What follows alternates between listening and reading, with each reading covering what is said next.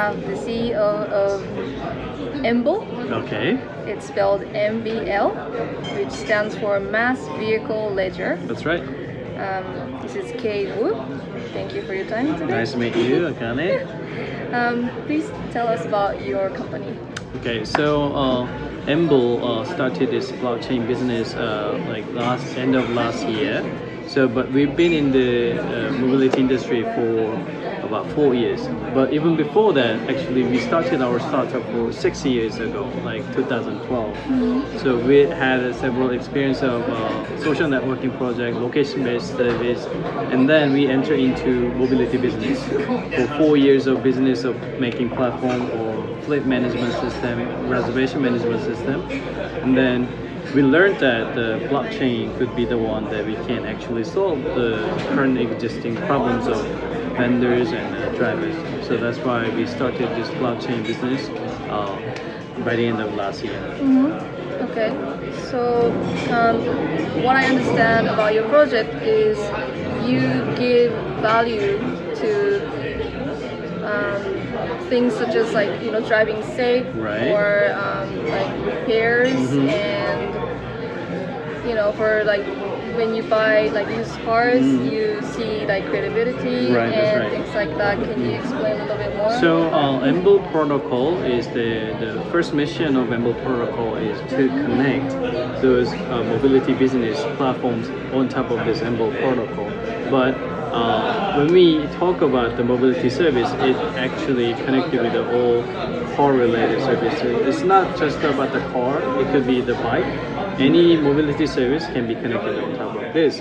So very first example will be on-demand service. On-demand service could be uh, realizable on top of blockchain uh, protocol. So, and then um, used car. So, when we talk about blockchain project, uh, used car platform is the very first example because used car selling market is very level market. Nobody can trust each other of their data. So whenever they purchase the car, they want to see the data of the uh, history data of the car they are going to buy. But some country uh, does not even provide the local uh, the history of the car, and some country even they provide the report of the data. Sometimes it's a lemon car. So within the blockchain uh, uh, protocol, when you uh, repair your car, when you drive your car, it records onto the block, and nobody can change it. Nobody can delete it. So with that data, people can actually create a trustworthy uh, transaction each other. So that's one of the examples that we try to create. So Emble is the, the protocol that uh, can build the trust between the interaction of uh, customers and drivers and sellers and buyers with within the mobility industry. so blockchain technology sounds perfect for your project. Yeah, it's. So uh, we, we, we found that uh, blockchain as a service is a very perfect solution that we can solve all those uh, known problems that we have faced before. For example, rental companies, they're actually suffering from uh, like uh, deducting the commission and the bidding price of war between the other companies. Right. So they have to sacrifice that, otherwise they cannot earn money. So they will die. So even even if they can participate the platform, they still sacrifice their commission. So that doesn't help their business to grow actually. And also some of them, most of them in let's say in Asian countries, the, the small scale rental company does not even have a system to manage. So all those kind of problems can be uh, actually solved with the blockchain uh, incentive system that we try to build. So we give more incentive to them, and we give like zero commission service to them, and also we give additional asset which is the Embo coin that they can earn. So all these kind of package that we can actually solve those uh, known problems. Okay. Um, sounds like a great service. Like I'm Right? sure a lot of people want to use it. Mhm. Um, is it already available or? So uh, now uh, we're uh, we have our fleet management system already been uh, built and up and running, and uh, this blockchain protocol is on the process of development. Uh, on top of Ethereum, or we're building uh, this uh, application protocol. We, and we call this as a test net period.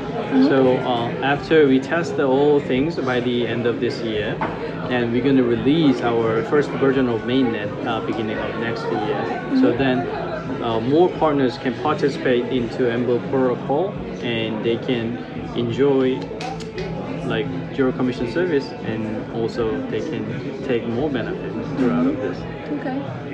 So you say your platform is on Ethereum. Like, is Mhm. there a specific reason why you? So Ethereum? um, so Ethereum would be the, the very well known uh, protocol so that anybody can use it and it's very easy to uh, communicate with the individual users when we use the Ethereum and also the process of our uh, ICO it makes us very easy to uh, do the crowdfunding from our general public.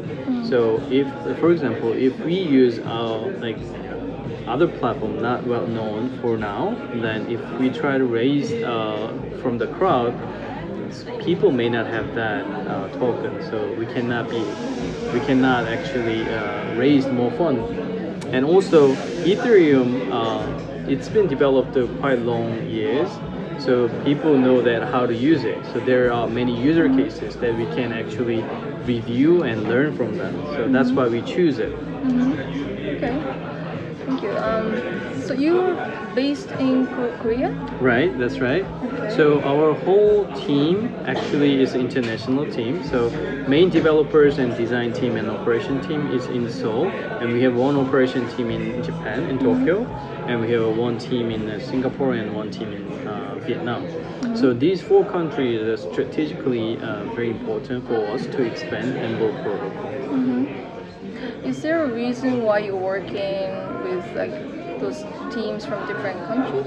Uh, it's it's because, uh, like I said, uh, strategically, uh, Singapore is very important. So when we introduce the blockchain-based uh, ride-hailing service, Singapore will be the perfect market that we can test it. And the timing of uh, launching the service is also perfect right now because of the monopoly situation of ride-hailing service in Southeast Asia.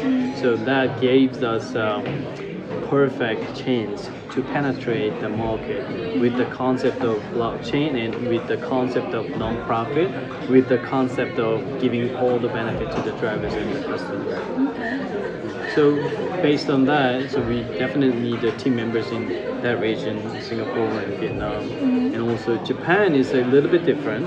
So mm-hmm. on-demand service is not working well here, but all those mobility mobility related business like uh, used car service and all, all other platforms like up and running really well. So we can connect with them, so we can help them to convert their business to- with the blockchain based business. Okay. So you um, you hope to expand your business to like internationally in Yes. the future? Yeah. So uh, this Emble project started in Singapore. So Singapore will be the first market that we are introducing blockchain-based service, and Vietnam will be the next, and Korea and Japan also the next. But currently we are focusing on uh, Asia market. So Southeast Asia, five countries: Indonesia, uh, Singapore, Vietnam, Malaysia, and Thailand. In uh, Northeast Asia, China, Hong Kong, Taiwan, Japan, Korea. But among them, the Korea and Japan is the most important country, and in Southeast Asia, it's the Singapore and Vietnam is the most important countries. Okay, great, thank you. Um, so where can we find you? I mean, the information about your project. Uh, so information about our project is on our website. It's at mvl chain c h a i n dot io. So uh, you can find the information of our uh, project, and you can find the information about the our on-demand service. So yeah, come to our website and you can find the information about. Okay, great. Thank you so much, Gary. right. Thank, you. Thank you very much.